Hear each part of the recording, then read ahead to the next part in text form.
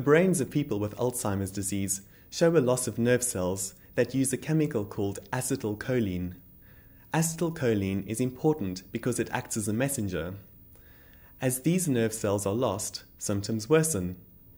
Acetylcholine esterase is an enzyme which breaks down acetylcholine in the brain.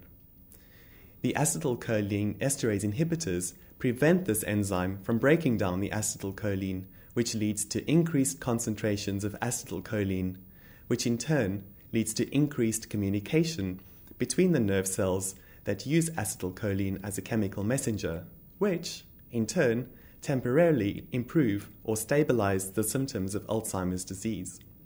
There are three acetylcholine esterase inhibitors available, which work in a similar way, but one might suit an individual better than another, particularly in terms of side effects experienced. The way NMDA receptor antagonists work is quite different from and more complex than the acetylcholine esterase inhibitors.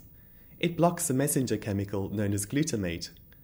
Glutamate is released in excessive amounts when brain cells are damaged by Alzheimer's disease, and this causes the brain cells to be further damaged.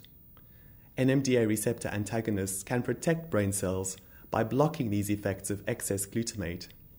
There is one NMDA receptor antagonist available your doctor will be able to decide which drug is most suitable.